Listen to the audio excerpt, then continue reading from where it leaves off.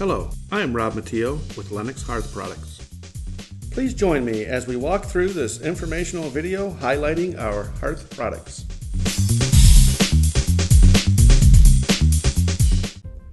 The door kit consists of a right and left glass panel with the door handles factory installed, an instruction sheet, two Phillips screws, and a door guide.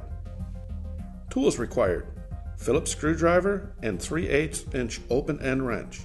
Starting with the lower end of the door, hold the door at a slight angle to the door frame outer edge with the top tilted toward the center. Swing the lower corner of the door over the hole in the lower frame to engage the lower pivot pin into the hole on the lower frame of the firebox opening. Tilt the top of the door into place and carefully ensure that the upper pivot pin is in the upper door guide track.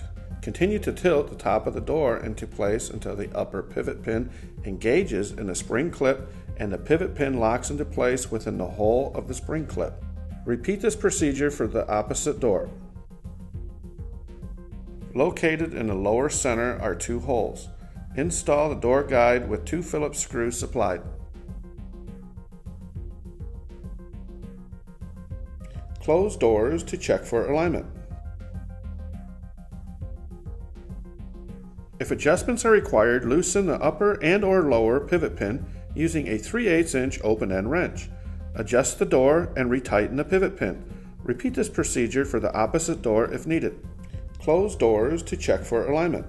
Installation of your bifold doors is now complete.